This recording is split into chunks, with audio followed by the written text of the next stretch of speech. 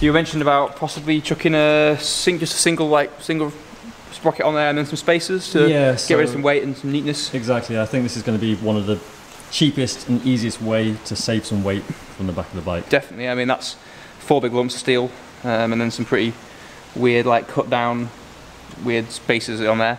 I mean a, single speed sprocket that will fit this hub, which is a standard Shimano spline, is like four quid, five quid, and then a set of spacers, um, less than a tenner I think. So you save quite a lot of weight and neaten it up for not not too much money. That's an economical way to make the bike better. Yeah. So you're on uh, 18 tooth. Yep. So Gusset do one. That's like a standard standard brand that you know you can either get you can even probably pick up from your local bike shop. They might even have it in stock if you need to get one quickly. And then Shimano do one, do one as well. Um, I think the basically Shimano was original. The Gusset one's a copy. Yeah. They work just as well. They're cheaper.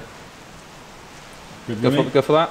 So this hub is a Shimano spline. Uh, you've got some screw-on ones here.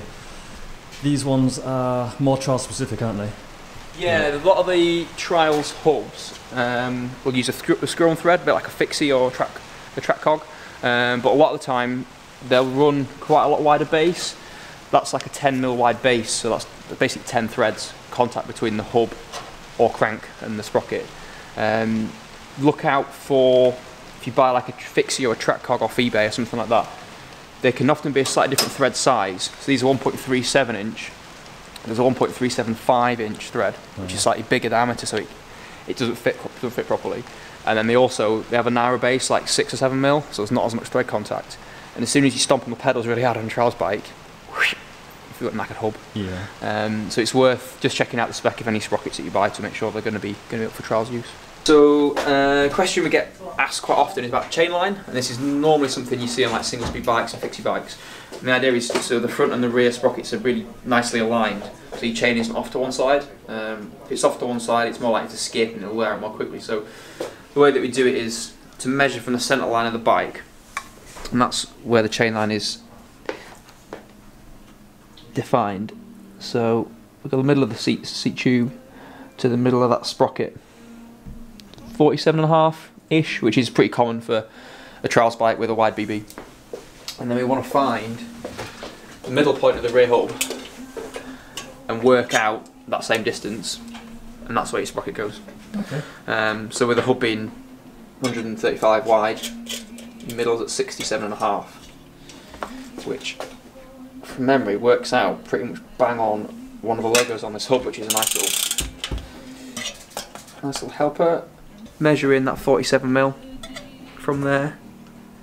So you want to be pretty much where that current sprocket is. That one there. Okay.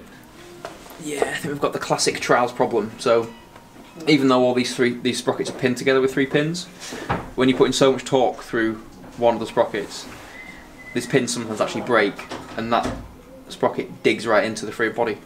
So we need to try and get it off somehow, and obviously if you just try and whack it backwards, the free body spins.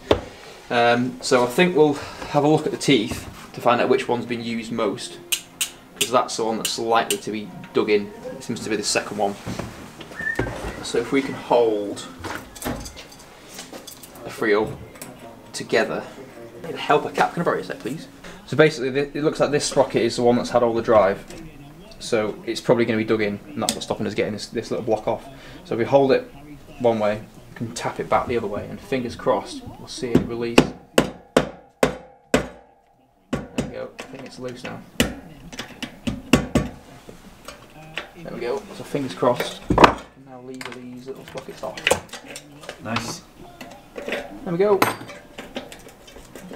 So you get a little bit of an indentation on the free body, which might stop these next ones going off easily. Which you can probably see. Oh, Thanks, go. Cap. Thank you, Cat. For your muscles. Um, yeah, so those those indentations are there. You can see them quite pronounced actually on this one, where the sprockets are dug into the, the free body, and it's actually stopping that sprocket from, from coming off. So Yeah. we'll just take a file on it and just skim these lumps off, and then that'll be fine. Cool.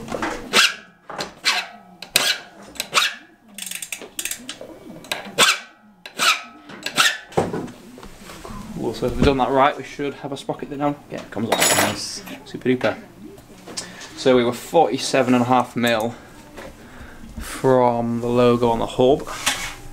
Puts us about pretty much bang in the middle of the freehub. Yep. So, spacer on,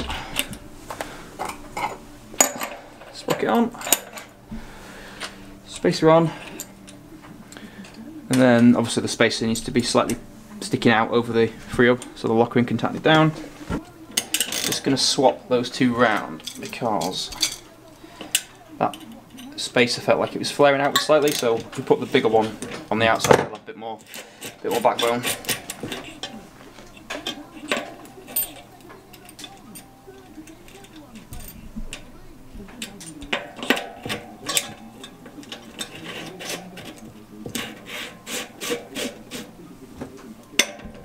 What kind of tightness?